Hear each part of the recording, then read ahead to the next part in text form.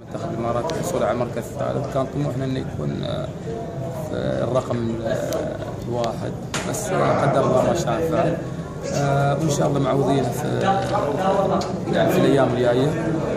بخصوص التكريم اولا شيء مش غريب على دولة الإمارات. والقائمين على هذه البطولة. آه، هالشيء يعطي دافع لي أنا ولغيري اللي بيدخلون الدورة. وأنا أتمنى يعني أنا عن طريق عن طريق علي الصيف إني أوصل رسالة للاعبين إن اللي يحصل فرصة يحاول يدخل أحسن.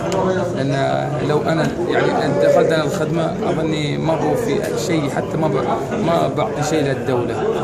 آه، أقل شيء إني أقدر اعطيه منه هذا تابعت مباريات المنتخب كابتن علي؟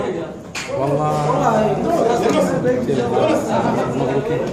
والله بخصوص المباريات كنا نسمع يعني نسمع النتائج بس ما تابعنا. ما تابعتش كنا نتمنى نتابع بس آه، ما ما حصلنا فرصة. ظروف الخدمة العمل والكلام ده. آه. تمام. بس سمعت أكيد طبعا إن كابتن ماجد ماجد ناصر عمل مباراة كويسة ومرشح من ضمن الأربعة الأفضل حراس أفضل حراس آه، مرمى. مش غريبة على حراس دولة الإمارات بشكل عام. ومش غريبة على آه، كابتن ماجد. كابتن ماجد أنا أنا من استويت يعني أحب أتابع هالإنسان كصديق أولا كصديق وأخ إحنا وايد مع بعض.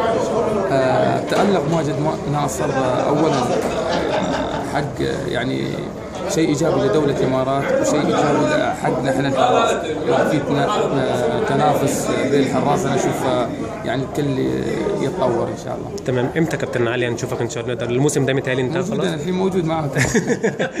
نشوفك في الملعب إن شاء الله. إن شاء الله الموسم الجاي؟ لا لا هالموسم. أخلص من الدوري إن شاء الله والخدمة والتحق إن شاء الله. تمام. سعيد بتتويج الامارات طبعا بالميداليه البرونزيه ولا كان نفسك في أكتر؟ كان بدنا تكون يعني الذهبية بس الحمد لله البرونزيه من بين هالكبار بعد شيء حلو.